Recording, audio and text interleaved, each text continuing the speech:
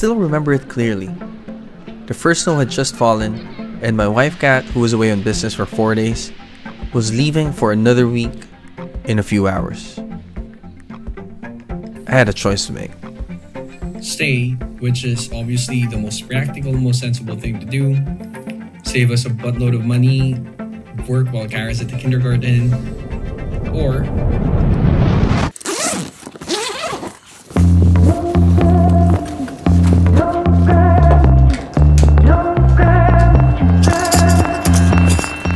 the setup 16 days to the US and Canada, a cheap camera and a kit lens as my main cam, another one specifically for photos, a reasonably priced travel tripod, a few lens filters, and a couple of microphones.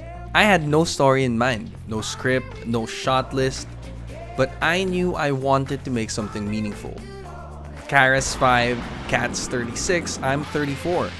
And I know that right now, this point of our lives will almost be as fleeting as the snow that day. So won't you come by, don't you? Be a stranger cause you are a friend to me. Ah, it's so cute, These right? days get a little better with a little company. If only we could all, we all could be. Look, there's smoke.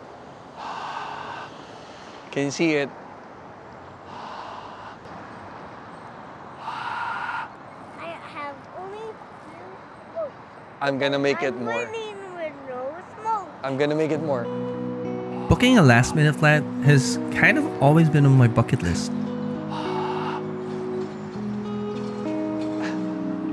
I think it's because I grew up watching all of those rom com movies from my time. Only, as a cool backstory and layer of conflict, my character loses his voice at the start of this trip. So he has to rely on the cheap camera he brought to tell the story. the skyscrapers, contemporary facades, and sound of the sea. It was surprisingly refreshing to be in a modern city like Seattle again. The weather was pretty okay. Half of the time it was sunny, and the other half just rainy, foggy, and gray. What do you see? And despite feeling awkward setting up my camera on the tripod to film ourselves, I did it anyways. I think it's always better to have fragments of something than to have nothing at There's all. too many. regardless of whether or not you're into filmmaking or YouTube or content creation. Even if these videos just somehow find themselves ending up in folders and gigabytes upon gigabytes of storage in your hard drive. I mean, I've still got so much backlog, a treasure chest of memories of trips we took. Like the last time we were in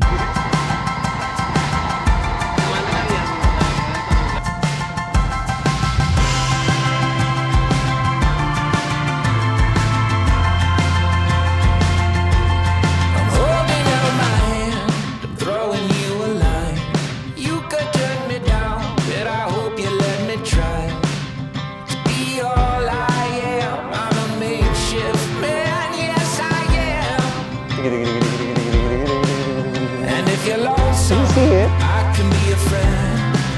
I wouldn't let you down. I'm gonna go all out for you.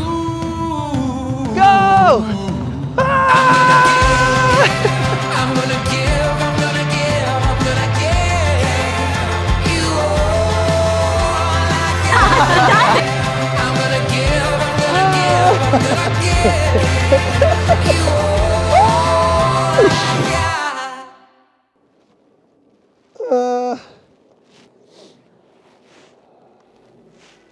I know it doesn't always make sense. But there's a certain kind of high that I get from my obsession to freeze time through these little videos of mine. It's not the likes or the views, but more so getting to replay these experiences, imagining our lives as a movie. Piecing together these clips and weaving a story, stories we would have otherwise forgotten, fragments of memories of five year olds probably too young to remember I'll be green. to be reminded exactly of how it felt in these pockets of time. That feeling. That feeling, at least to me, makes it make sense.